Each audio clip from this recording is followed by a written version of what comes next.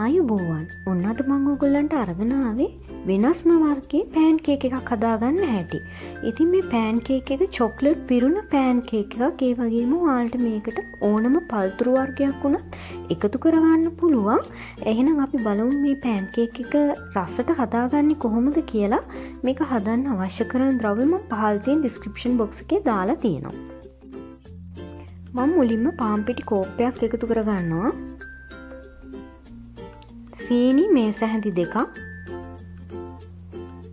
කිරිකෝප්ප කාලා බිත්තර දෙකක් වැනිල තේහැන්දක් විතර. මේ ටික එකතු කරලා මම මේ ටික මුලින් හොඳට කලවම් කරගෙන ඉන්නවා.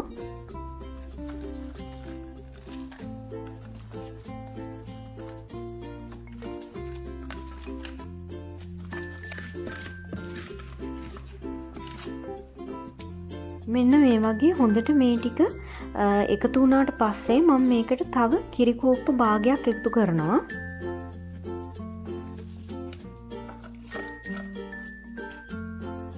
ඒටිකත් දාලා මේ වගේ හොඳට දැන් කලවං කරගන්නවා. මට තව කිරිටිකම් මදි වගේ නිසා මම තව කිරිකෝප්ප කාලක් වගේ එකතු කරගන්නවා. ඒ කිරිටිකත් දාලා මම මේ වගේ හොඳට වැක්කිරෙන බැට එකක් හදාගන්නවා. දැම්ම මේ වගේ පෑන එකල් ලිපේ තියල ඒක රත්වෙනකොට ඒකට මේ වගේ බැට එකින් ටිකක් දාලා වටේටම හොඳට මේ වගේ කරක ගන්නවා. දැන් මේකමං අඩුගු ඉන්දරේ තියලා මේක හොඳට රන්වන් පාට වෙනකල් ලිපේ තිල ලිපෙන් අයින් කරගන්නවා. මේ තියෙන මම හදාගත්ත පෑන් කේක් එක මන්දැම් මේක මේ වගේ දෙකට මැදින් නවා ගන්නවා නවාගෙන මේ වගේ මං මේක උඩින් නිව් තැල්ල ටිකක් ගාගන්නවා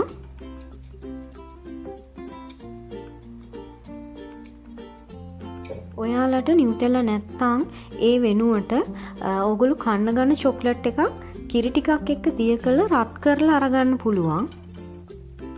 දැම්මම් මේ වගේ කෙසෙල් ගෙඩිය හීනි පෙතිය හිටින්න කපලා ඒකත් මේ වගේ මැදින් තියලා එකතු කරගන්නවා.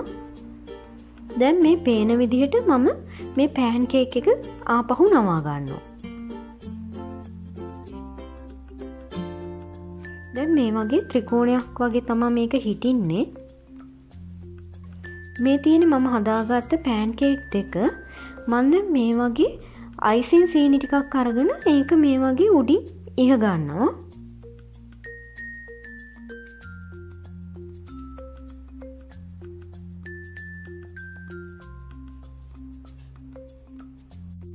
මම මෙතන මෙල්ට් කරපු චොක්ලට් ටිකක් කරන් තියෙනවා. මන් දැන් මේ වගේ හැන්දකින් ටික ටික අරගෙන මේක උඩින් දාලා සරස ගන්නවා. ඔයාලට මේ වෙනුවට කඩේ ගන්න තියෙන චොක්ලට් සිරප් වුණත් යූස් කරන්න පුළුවන්. මම අද පල්තුරු විදිහට අරන් තියෙන්නේ කෙසෙල් ඉතින් ඔයාලට කෙසෙල් වෙනුවට ස්ට්‍රෝබෙරි වුණත් ගන්න පුළුවන්. ඊට අමතරව කිට් කෑට් වගේ චොක්ලට් වුණත් මැදට දාගන්න පුළුවන්. මේ තියෙන මම හදාගත්ත රසම රස චොක්ලට් පෑන් කේක් එක. ඉතින් ඕලත් මේක හදල බලයි කියලා හිතනවා. මේක හදල බලන හරිම රසයි මේක. චොක්ලට් ගතියත් හොඳට තියෙන නිසා ලොකු කට්ටියට වගේම පොඩි කට්ටියටත් මේක හොඳටම ගැලපෙනවා. ඉතින් ඕලත් මගේ වීඩියෝවල්ට කැමතිනම් මගේ වීඩියෝ ලයික් කරන්න ෂයා කරන්න අමතක් කරන්න එපා. ඒ වගේ මගේ චැනල් එක සබස්ක්‍රයිබ් කරන්න. හැමෝටම සුබ දවසක්.